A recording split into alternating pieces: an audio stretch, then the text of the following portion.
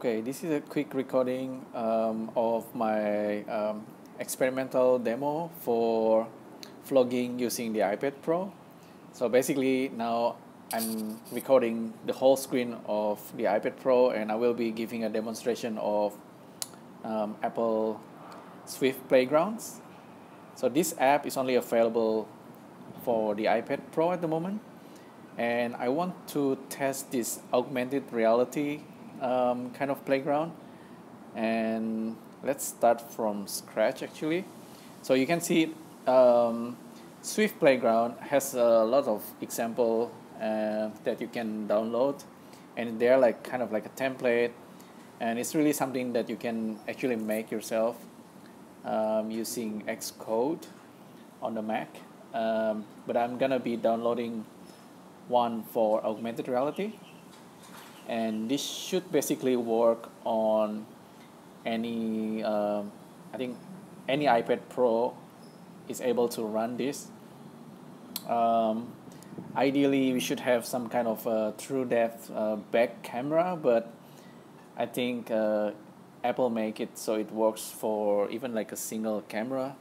It it it, it, it should work better with a dual camera of the iPhone but um, Swift Playground is not available for the iPhone yet.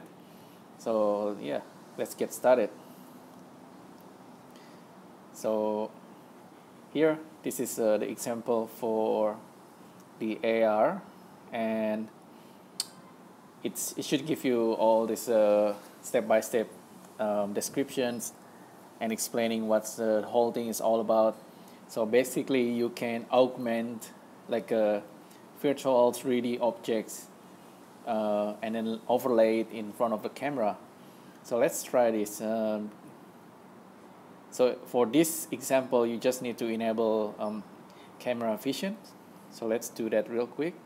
Just tap the code and run the code and it's asking for access for the camera. Just say okay.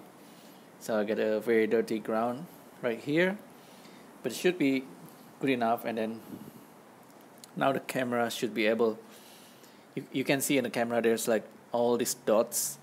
And that's mean um, the Apple ARKit is uh, tracking the floor. Cool. Okay let's continue with the next one. Playing playing around. Okay this one will actually play sound whenever it detects like a floor. Um, let's do this um, so, so there is a function already uh, let eh, that's an empty, empty function called detected uh, detected plane. We just need to provide another function to play a sound. And it says play sounds and bracket. We just need to type dot and then find the presets. Let's try the boing and let's run the code so now, whenever it found a floor, it should make like a loud noise there. Uh, okay. Cool, should be working. Let's walk around, see, try to find another floor. Right, finding it hard to find another floor. Let's try a table.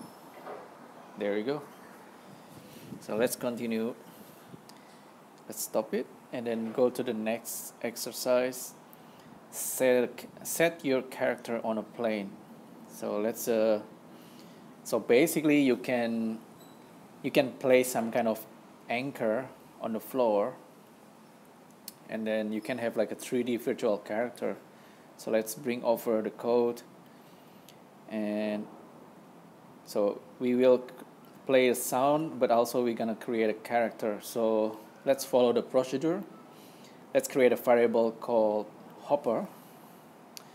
So let um, hopper. Okay let's name it Bob. Value should be our character.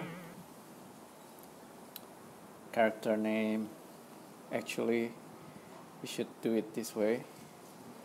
So we need a function for the character and and then you should just give a character name. Character name should be like a dot. Let's use um, expert. And then let's go to the next line. Create a new position.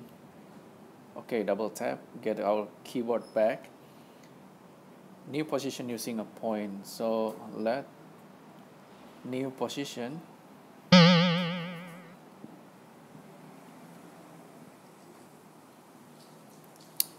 um, equal point bracket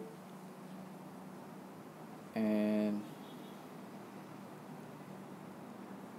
put that x and y. So let's just give it a is it 1 and 2 okay. So there's there's a lot of funky thing with a with a Swift Playground app actually. And let's call a plane. So we need to write that plane. And then use uh, this uh, function uh, give our character name Bob and our point new position. Okay now I think we're done. We just need to run the code. It's gonna restart and it try to find a floor. When if it's